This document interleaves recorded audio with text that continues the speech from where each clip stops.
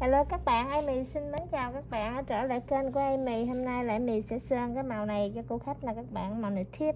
Amy sơn thử một ngón trước cho cô khách coi cô có thích cái màu này không Với cái cái fan này vẽ bự ba lớn đó các bạn. Nhiều cô khách thì thích nhỏ, nhiều cô khách thì thích lớn nha. Amy đã vẽ cỡ dậy cho cái sample của một ngón cô thích rồi. Bây giờ Amy sẽ vẽ những cái ngón kế tiếp nha. Các bạn thấy là Amy sẽ bắt từ cạnh em mì đi vô nè. Cái màu này nó rất là đẹp luôn các bạn ơi. Những lát em mì sẽ cho các bạn coi coi nó là màu số mấy nha. Em mì cũng chưa có nhìn nữa. Rồi các bạn thấy không? Mình vẽ thiếp rất là nhanh. Các bạn thấy em mì đi bọc vô các bạn nếu giả thiếp thì mình lấy nước sơn vừa đủ thôi nha các bạn. Đừng lấy nó quá nhiều để nó động nó nó nó, nó chảy nha. Rồi lem một tí xíu người ta có móng cũ rất là ngắn lem chỗ nào thì mình chùi liền chỗ đó nha. Màu treo nó rất là dễ, các bạn đừng để hơi xong là mình chùi nó mới khó nè rồi, bây giờ mình sơn ngón cái nè. Các bạn thấy rất là dễ không? Cái thiếp nó cũng khoảng bằng độ đầu của cái cọ thôi. Rồi hai mì kéo nó liền mí với nhau rồi. Rồi, em mì đã xong một tay nè các bạn.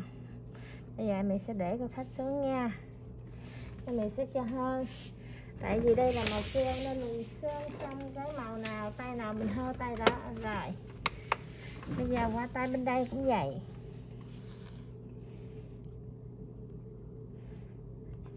Keep your hand a bit up from here. Yes. Nhưng khi mình phải điều chỉnh cái tay mấy cô khách đó các bạn. Làm sao cho mình dễ dẻ ra? Rồi các bạn thấy không? Em mày kéo bên đây kéo lại hay là em mì giả bằng cái đầu cỏ bự luôn nha, đầu cỏ nước sơn luôn. Nhiều khi các bạn nói em mì giả bằng cỏ giả lai không? Bây giờ em mì sẽ giả bằng đầu cỏ nước sơn.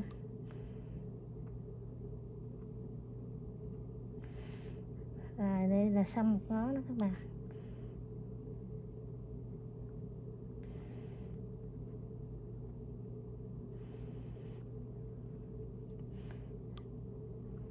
Thấy vậy chứ mình giả thiếp thì rất là nhanh em mèo còn thích giả thiếp hơn sơn nguyên móng nữa các bạn. Giả thiếp nó, nó nó nhanh nó dễ mà. Mình còn được lấy thêm được tiền khách hàng nữa.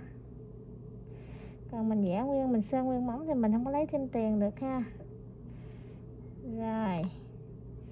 Bây giờ đã xong rồi. Mình em đập rồi. Bây giờ em mì sẽ cho hơi bên đây. Rồi bây giờ qua bên đây em mì sơn lại nước thứ hai nha các bạn nước thứ hai thì mình cứ đi đều lên cái nước thứ nhất thôi. Nếu cái ngón nào, cái cái cái phe nó bự nhỏ chưa đều thì mình chỉnh lại rồi. Nước thứ hai nè. Đây cô khách cũng hay bị rung một tí xíu nha. Đó, các bạn thấy không? Nước thứ hai lại là cái màu nó nó đều luôn.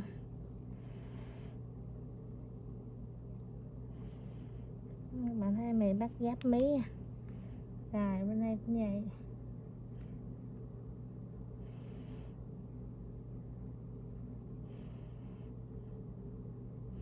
Rồi dùng qua đây. Cái pha này cũng dễ lắm, các bạn tùy những du khách nào thích câm hay là thích ngang gì là mình cứ bắt cái đường này nó rất là dễ. Mình không có cần chùi, không cần gì hết. Mình bắt nó cao hơn, mình đi bầu hơn chút thì nó được, cái phe nó rất là căng rồi dùng qua đây em mì qua bên đây em mì sẽ sơn lại nước thứ hai nha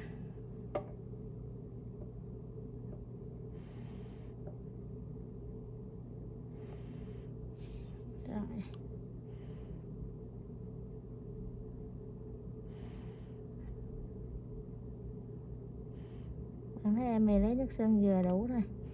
Cái, cái cọ nó bự móng ngắn nó dễ bị dính. Thì nhiều khi em mày thích ờ, lấy cọ giả lai là cái nguyên nhân tại vì đó đó các bạn. Cho nó nhỏ nó không dính nhiều cái móng ngắn quá. Cái đầu cọ bự quá rất là dễ.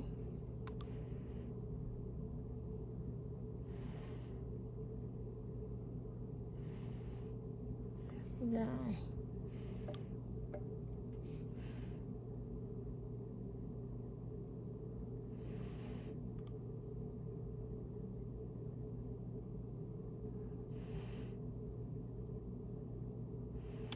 Rồi, bây giờ mình đã xong, giờ mình cho hơi tay bên đây nha.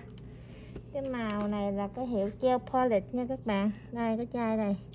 Các bạn dòm cho mình mì cái hiệu Chevrolet còn cái số dưới đây là 11090 không có cái tên nha các bạn. Đó. Rồi.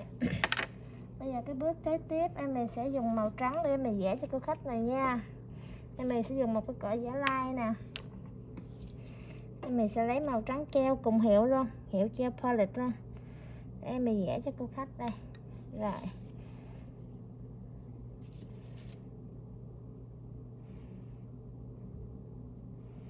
Giờ là mình sẽ vẽ. Hai cái râu lên.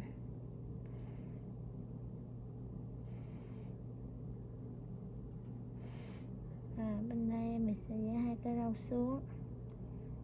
Sample thôi nha các bạn. Tại móng của cô khách con không có được dài. Hôm nay là mình vẽ màu treo cho các bạn coi rồi, bây giờ mình cho hơn rồi, qua đây cũng vậy. Vì thường khi cái màu treo của em mì em mì vẽ màu treo cũng được, mà mì vẽ màu thường cũng được. Tại màu thường của mì vẽ cũng không có bị chảy các bạn rồi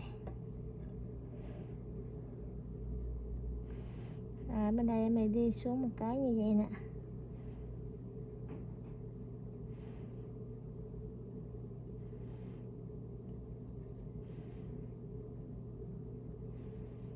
Rồi.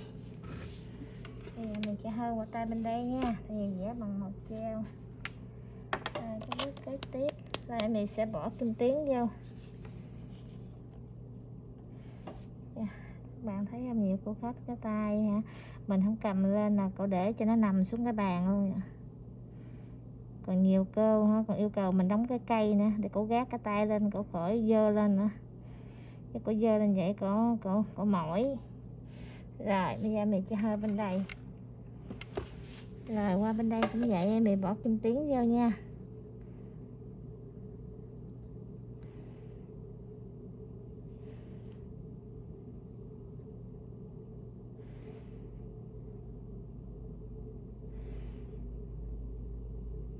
Rồi, hai cái mẫu vẽ rất là đơn giản luôn các bạn. Và bây giờ mình sẽ sẽ chấm cho dài cái chấm lên nè. Rồi, em chấm từ đây nha. Đây, em chấm lên.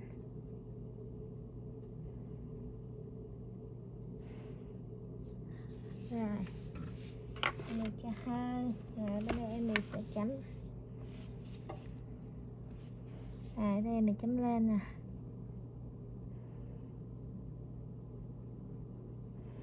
Rồi mì chấm bằng màu treo luôn đó các bạn các bạn thấy cái mẫu vẽ rất là dễ Do you want a white line between the teeth? No. Ok.